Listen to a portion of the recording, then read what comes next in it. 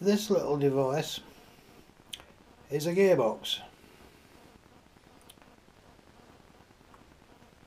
It's about six inches long by slightly under six inches in diameter. Two gears, at least two gears on the outside. Was actually made in 1941.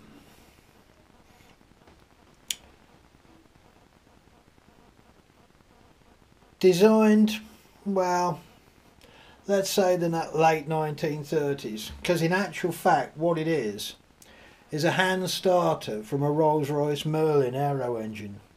If I take this cover off, you can see inside and where the planet gears are. It's actually a double planet gear system. If I turn this you can see the internal planet gears slowly rotating and it gives about an 80 to 1 reduction gear ratio. The intriguing thing about this, it was made by completely unskilled workers and women at that.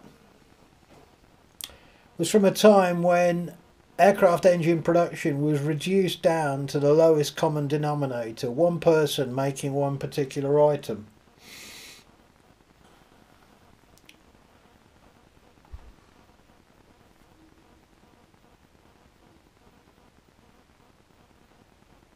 If I go around to the back and take this spindle out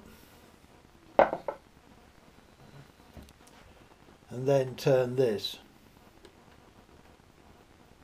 you can actually see how the entire gearing system works. The ratio is, is really incredible.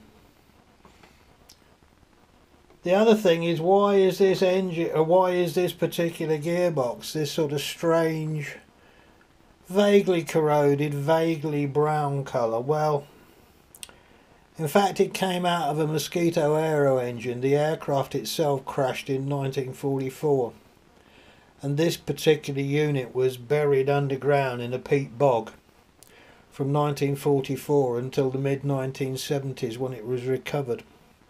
Came from a crash site near Kings Lynn here in the UK. Truly amazing piece of movement and uh,